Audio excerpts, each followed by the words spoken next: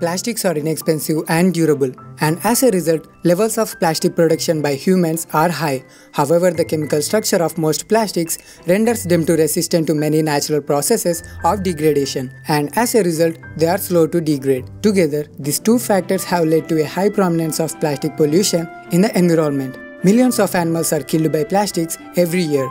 But there are many ways we can reduce the plastic pollution by converting waste plastic into useful resource. Welcome to GNP Animations. In this video, we are going to see how plastic is turned into fuel.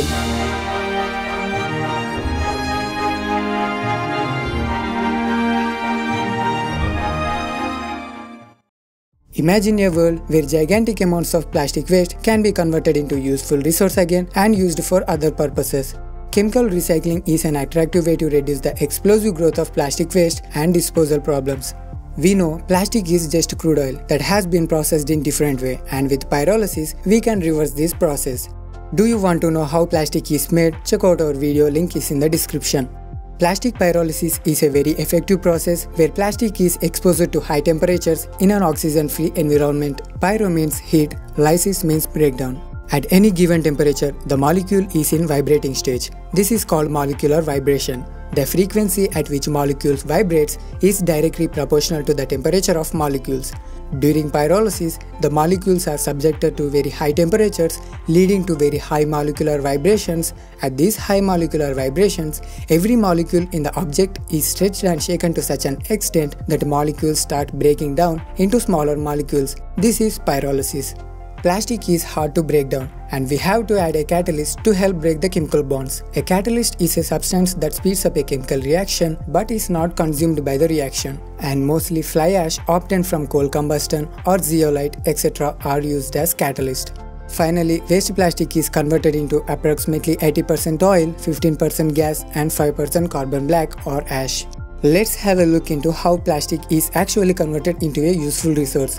There are many steps involved in plastic pyrolysis process, but we are simply going to see 5 steps. Waste plastic to pre-treatment process, shredder, pyrolysis, condensation, refining. Waste plastic is first sent into a pre-treatment process that removes any foreign matter, then sent into a plastic shredder. Plastic shredder is a machine used to cut plastic into smaller pieces. The smaller pieces of plastic then sent into a densifier that compresses the smaller plastic pieces into dense material to facilitate easier storage or handling. Then they are sent into a chamber where the pyrolysis of plastics takes place. The plastic is heated up to 450 degrees centigrade in the presence of catalyst and in the absence of oxygen. The plastic is slowly melts and converted into gaseous state. Then the gas is sent into a condenser. Then the condensation takes place. Condensation means conversion of a vapor or gas to a liquid. Then that is sent into a oil refinery chamber and finally plastic waste is refined into approximately 80% oil, 15% gas and 5% carbon black or ash. And this oil is used as a heating material and sell it to cement, glass, ceramic, electric power factories etc.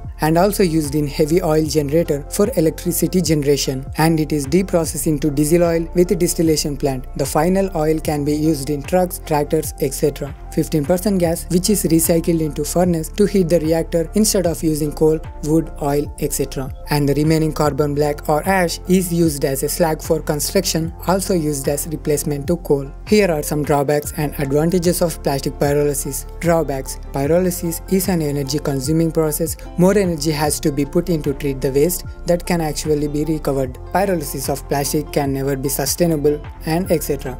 Advantages of plastic pyrolysis it reduces waste going into landfill and greenhouse gases emission. It reduces the risk of water pollution.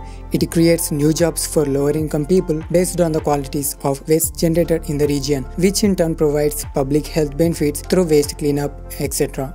And this is how waste plastic is turned into a usable resource by using pyrolysis. I hope you liked the video. For more videos, consider subscribing to GNP Animations and I will see you on my next video. Until then, stay tuned to GNP Animations.